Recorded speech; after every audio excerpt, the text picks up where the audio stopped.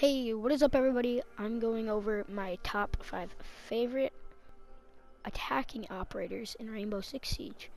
So let's get right into it.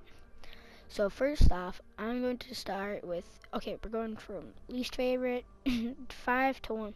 So probably at the number 5 spot would probably be Pulse. I run him sometimes, but he's just not my favorite he has that detector sensor, which makes him really good at detecting enemies and getting them, getting pointing out their location. So that's number five. Number four, I'd have to go with Bullet or Bandit. Bandit, uh, I run him quite a bit, but his shockwires they just get destroyed by Twitch drones. It's just too easy for them to get destroyed.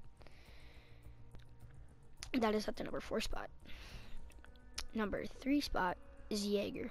Jaeger, he's a great op. His gun does a lot of damage, but just his his things are so use are useful, but not, like people don't really run fuse quite so often, and they don't put them at the doors you place them. So you have to carefully place them. That's what I don't really like.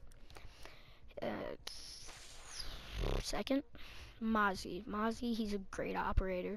His guns do a lot of damage, and the pest launcher it gets it hacks drones to get them into your possession, and you can use them on the other team. But I really don't like that you can't go outside. Number one, Ela. You gotta do it. Ela, her Grzmot mine, it's great. When you're down, when you get knocked, you can just press R1 or whatever you have on your controller or keyboard.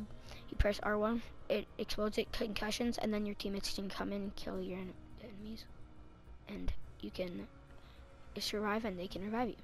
Yeah, so that's gonna be the end of the video. Thank you guys for watching. Hope you guys enjoyed.